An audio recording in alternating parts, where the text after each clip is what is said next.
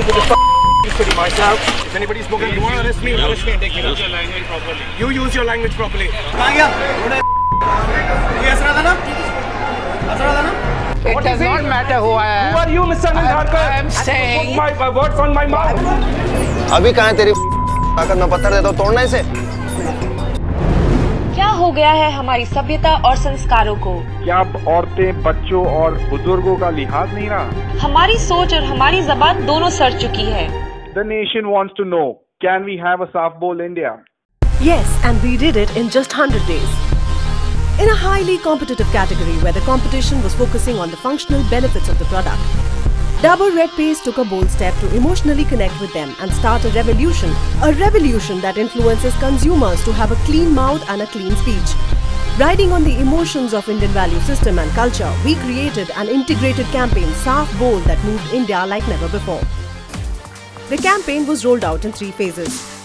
To create buzz for Saaf Bol, we launched humorous video teasers in which we showed how suddenly entire India has started using clean speech.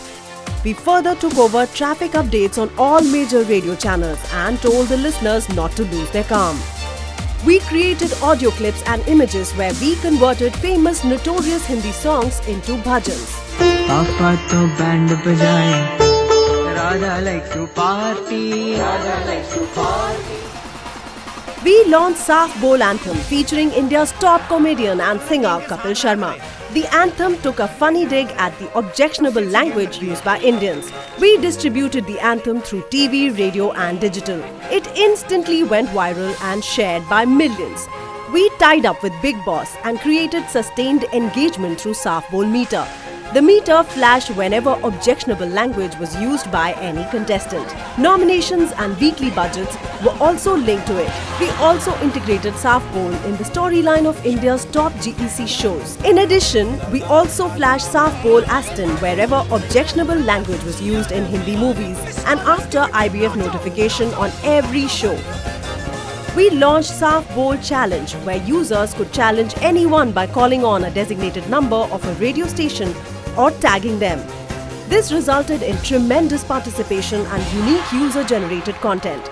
For the first time ever, a Saaf Bol social media censor was created, an automated reply system that shared funny memes with users who used objectionable language. In movie theaters, we deliberately displayed a message the movie will be delayed by 30 minutes and then followed up with Saaf Bol anthem when audience got restless.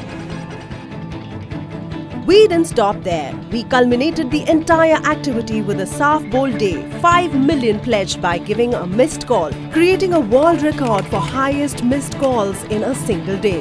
The result of the entire campaign were overwhelming.